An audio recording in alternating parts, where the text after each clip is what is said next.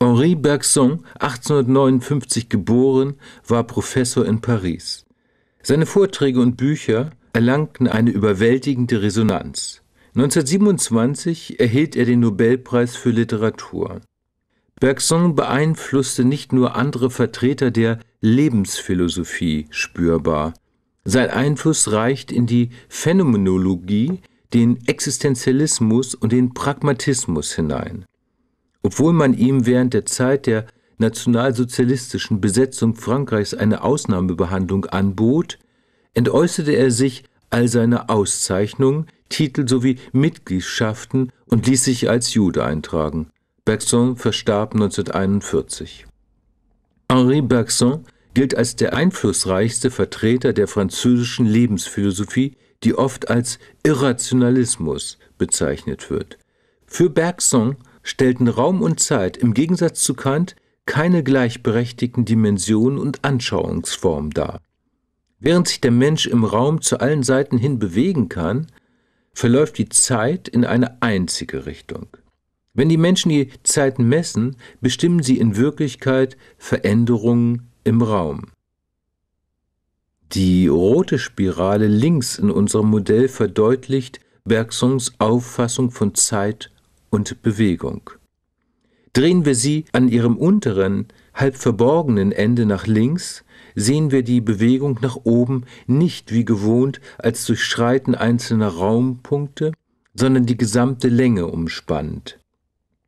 Die Bewegung stellt ein Ganzes dar.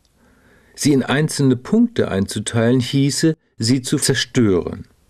Während sich die gespannte Bewegung nach oben hebt, scheint sie sich nach unten im geometrischen Raum zu zerteilen.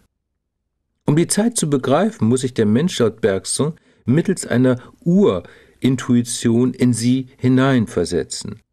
Die Intuition beschreibt Bergson zufolge eine Fähigkeit, bei der Intellekt und einfühlender Instinkt zusammenarbeiten. Der Verstand zerteile die Zeit, obwohl sie unteilbar ist.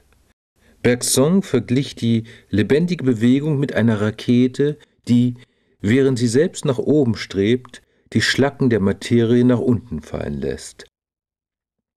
Der geometrische Intellekt des Menschen kann ausschließlich diese Schlacken erkennen.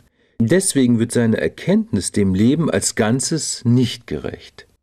Wie ein Käfig zerschneidet er mit seinen Koordinaten das Lebewesen und wird, mit einem Wort von Ludwig Klages, zum Widersacher der Seele.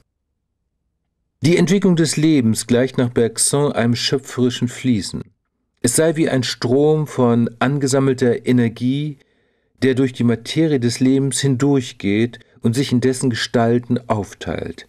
Die Pflanzen- und Tierpräparate zeigen die erstarrten Einzelgestalten des Lebens, die alle vom Elan vital, der Woge des Lebens durchströmt werden.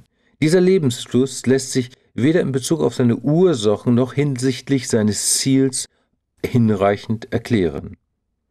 Bergson meinte, dass es Bereiche gibt, die der Rationalismus nicht angemessen darlegen kann, weil dieser auf eine räumlich-mechanische Grundlage aufbaut